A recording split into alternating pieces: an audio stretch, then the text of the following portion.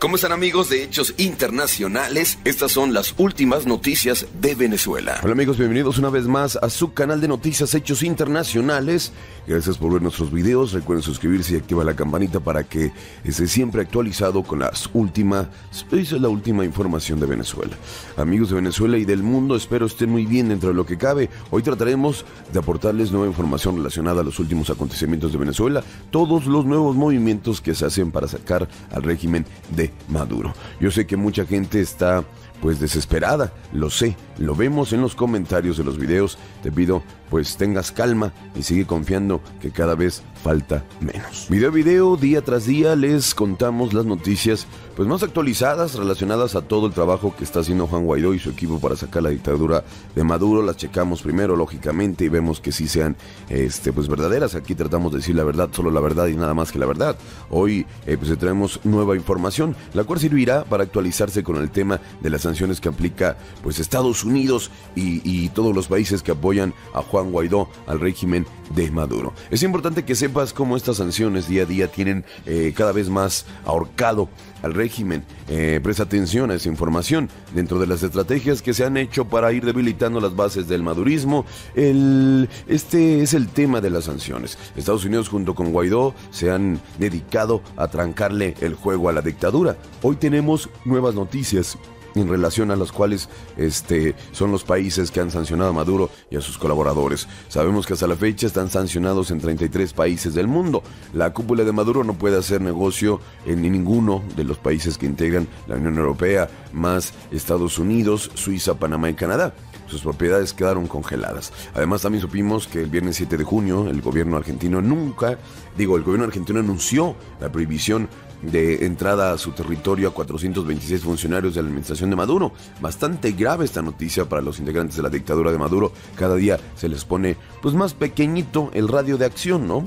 También es interesantísimo saber que el país que más sancionados tiene en su lista para asombro de todos pues no es Estados Unidos sino Canadá desde el año 2017 se sumó a Estados Unidos en su política en contra del desempeño antidemocrático de Nicolás Maduro y desde entonces ha dedicado 116 sanciones contra 13 altos funcionarios del madurismo, incluyendo al propio Nicolás Maduro.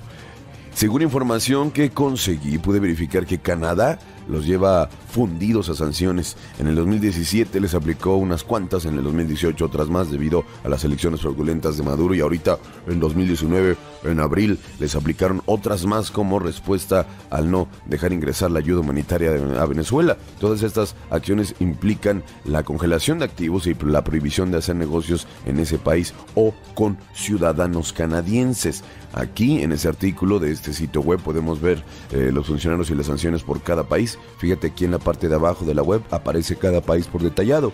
Canadá tiene 113 sancionados y aquí está la lista de los sancionados. El primero que aparece en la lista es Adán Chávez, el hermano del difunto Hugo Chávez. Este artículo lo pueden encontrar en internet, en la descripción de este video. Les dejaremos el enlace por si quieren revisarlo ustedes mismos. Ahí podrán ver por detallado todos los sancionados aliados a Maduro. Si seguimos viendo más abajo en el artículo, vemos lo siguiente. Estados Unidos con 87 sancionados, Panamá con 55 sancionados, la Unión Europea con 18 sancionados, Suiza también con 18 sancionados. Suiza, ¿eh?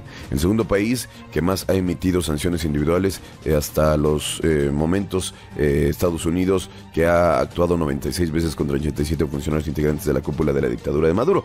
ahí aquí en Venezuela. Esta cúpula incluye la Dirección Nacional del Partido Socialista Unido de Venezuela, las cabezas del Consejo Nacional Electoral y el Tribunal Supremo de Justicia así como el poder ciudadano, el alto mando militar y al propio Nicolás Maduro. Es importantísimo aclarar un par de cosas. Estas sanciones contra funcionarios es pues muy personal y no afectan a la población venezolana, así debe de ser. También es importante saber que todas las sanciones son revocables siempre que los afectados muestren su voluntad de contribuir con el restablecimiento de la democracia en Venezuela. Recuerden que recientemente a, pues, a Christopher Figuera le levantaron todas sus sanciones cuando desertó del régimen de Maduro Y se puso al lado de la democracia venezolana, aportando información valiosa en contra de la dictadura venezolana. Las razones por las que Estados Unidos ha sancionado a estos pues vagabundos son violaciones de los derechos humanos, corrupción, nexos con el narcotráfico, por usurpar funciones de la Asamblea Nacional, por ayudar a organizar elecciones de la Asamblea Constituyente, por ser copartícipe de la censura en Venezuela y, y lo más reciente, por ser parte de la red de diplomacia y justicia corrompida de Venezuela. Les tenemos toda esta información para que estén bien informados acerca de los países que están apoyando y cómo lo están haciendo. Entre las razones que acordaron los 28 países de la Unión Europea para congelar activos en sus territorios, impedir el ingreso y prohibir hacer negocios a los malandros de la dictadura fueron la violación de los derechos humanos, minar la democracia, represión, juicio de civiles en tribunales militares, usurpar la autoridad de la Asamblea Nacional y uso de medios de comunicación para atacar públicamente a la oposición. Realicé esta para que tengamos una idea de qué sanciones se han ido aplicando a cada funcionario por separado. Hay mucha gente confundida y con dudas en relación a las sanciones. Una duda muy frecuente es si estas sanciones este, que se han aplicado a PDVSA y a otras compañías relacionadas con la dictadura afectaban por separado a cada funcionario de la dictadura. Respuesta que ahora tenemos y la cual es definitivamente sí. Cada funcionario está sancionado por separado, hablando en criollo. Todos estos personajes que se han dedicado a ser parte de la destrucción de Venezuela están pues bien jodidos. Todo el dinero que se han robado van a tener que gastarlo en Rusia, Cuba y en Turquía. Eh, eh, bueno, jodidos entre comillas, ¿verdad? Porque vean lo que estamos este, encontrando. También debemos eh, destacar la postura de los presidentes de Colombia y Argentina en su apoyo a Venezuela contra la dictadura de Maduro. Recientemente supimos que ambos mandatarios se unieron para discutir temas de beneficios para ambas naciones y aprovecharon para ratificar su apoyo incondicional para acabar con la narco tiranía de Maduro. Excelente reunión con el presidente Duque, firmamos acuerdos importantes para impulsar las industrias creativas y turísticas, ratificamos nuestra voluntad de luchar contra el narcotráfico y el lavado y reiteramos nuestro compromiso con el pueblo venezolano. Fue un gran encuentro. En el plano regional, el presidente eh, Mauricio mm, Macri ha sido pues gran aliado de una causa justa y necesaria. Reconocemos apoyo a la demanda contra el dictador Nicolás Maduro ante la Corte Penal Internacional por los crímenes cometidos de manera sistemática contra este, pues, sus ciudadanos. Gracias a esas naciones por apoyarnos desde aquí, de verdad, muchísimas gracias. Otro tema que queríamos también mencionar es en relación a una huelga de casi unos 600 trabajadores de PDVSA, los cuales tienen varios meses en la ciudad de Caracas exigiendo que Maduro pues, les pague un dinero que les fue prometido por Chávez. Hace unos días hicimos un video informándoles sobre esta situación tan grave que viven pues, ese grupo de personas. Son casi 600 y casi todos ancianos. Tenemos algunas actualizaciones referente a esta noticia. Veamos, Jesús Rojas, uno de los ex trabajadores, afirmó que han acudido a todos los entes gubernamentales para exigir el pago de sus pasivos laborales sin obtener respuesta alguna. Asimismo señaló que no responsabilizan a Nicolás Maduro por los 17 fallecidos durante la huelga de hambre, pues ellos apoyan al gobierno, a pesar de no haberse pronunciado ante sus propuestas. Nosotros somos revolucionarios, nosotros apoyamos este gobierno, nosotros somos de este país, no somos de otro país. Sinceramente, de mi parte, yo no acuso al presidente, que el presidente si se tiene que abocar a esta situación, sí, pero yo no lo acuso, comentó.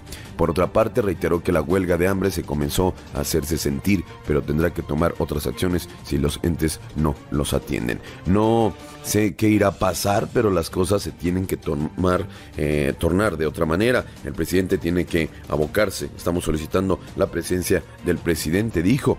Hemos recorrido todas las plazas y no nos han asistido. Tomamos la decisión de hacer la huelga de hambre porque no nos queda otra opción. No nos vamos a reunir con Guaidó porque somos revolucionarios. Hay que analizar esto eh, que dicen estos señores. Permíteme tantito. ellos forman parte del grupo de personas que inexplicablemente creen en Maduro y en todo lo que dice, o no se atreven a decir nada en contra del régimen por temor, ya que eso obviamente implicaría que por lo menos por la parte de Maduro no les pagarían ni un medio. Veamos qué opinan los usuarios que vieron este tweet. Recuerden eh, la muerte de Frank en Britro. Em, a este gobierno no les interesa el pueblo, solo ellos deben dejar la arrogancia. Eh, también otro más dice, entonces que esperen a su presidente amado, están en su derecho de elegir su sufrimiento. Luego recogerán los cadáveres de estos hermanos que escogieron el socialismo por encima de su libertad. Otro más, acabo de oír a uno decir que todos votaron por el presidente obrero sindicalista Maduro y que confían que tienen un corazonzote, una belleza, pues. Estos fueron pues, algunos comentarios. Yo pienso que ellos están como Rusia los cuales no sueltan a Maduro porque piensan que Juan Guaidó no les eh, reconocerá su deuda. A todas estas no sabemos cuál de los dos motivos es, pero si hay algo que tienen estos señores, eso es el libre albedrío. Y si ellos quieren confiar en que Maduro les pagará y no quieren hablar con Guaidó, se les debe respetar eso. Aquí vemos, yo creo que es el tema principal de lo que pasa en Venezuela. El individualismo, ellos están preocupados por lo que se les tiene que pagar, no por Venezuela. Ellos están preocupados porque necesitan comer y necesitan dinero y lo que se les debe, no por Venezuela, no por el bien común. No apoyan al bien común para que esto no vuelva a suceder y todo el mundo lo tenga. Ellos están preocupados por su dinero, el dinero que les deben, no por nada de lo demás. El individualismo siempre nos va a llevar al fracaso, nos va a llevar a la delincuencia, nos va a llevar lo peor. Nosotros por aquí solamente les deseamos que no sigan muriendo más personas en esta trágica huelga. En eso se ha convertido, en una trágica huelga en la que han muerto personas esperando un pago que no saben si llegará. Eh, ya estamos llegando al final de este video y no puedo irme sin pedirte como siempre que nos des tu opinión. Leemos todos los comentarios que dieron cuenta, eh, que nos digas qué piensas en relación a todas las sanciones que se están haciendo en contra de estos funcionarios del madurismo. ¿Tú piensas que estas sanciones eh, le van a hacer la vida más difícil a estos malandros? ¿Estás de acuerdo que se levanten las sanciones a funcionarios que se pongan al lado de Guaidó? ¿Qué te pareció la postura del gobierno de Argentina y Colombia con Venezuela? Y por último, dime, ¿qué piensas sobre estos pobres viejitos, esa pobre gente adulta que a pesar de todo lo que está haciendo eh, pasar eh, el régimen, eh, este, siguen apoyando a Maduro y a su dictadura, ¿no? Y, tienen ese tipo de mentalidad y pues desafortunadamente, como lo mencioné, hay que unirse para el bien común, para que estas cosas no pasen. Si solamente me intereso yo, y, me dan un dinerito y digo, bueno, si está mal en Venezuela, si hay hambre allá, no hay luz acá, pero pues a mí me están dando dinero y yo estoy bien. Ese es el verdadero problema de todo en todo el mundo. Déjanos tu opinión abajo de la casilla de comentarios. Si no estás suscrito, suscríbete, dale me gusta y recuerda activar la campanita para que siempre te mantengas actualizado con las últimas noticias este, ratificadas. Por eso son últimas noticias ratificadas y bien analizadas y chequeadas, ¿eh? Porque eh, luego dicen, es que esa noticia no, no, es una noticia vieja. No es una noticia vieja, es una noticia que nosotros la estamos poniendo, pero primero tuvimos una investigación para traerle siempre la verdad, solo la verdad y nada más que la verdad. ¿Eh? Así es que muchísimas gracias, suscríbanse y, que Dios nos bendiga a todos. No olviden dejarnos sus impresiones en la caja de comentarios y suscribirse al canal, sin olvidar activar la campanita para recibir las notificaciones y así siempre estar bien informados. Recuerden, la información es poder.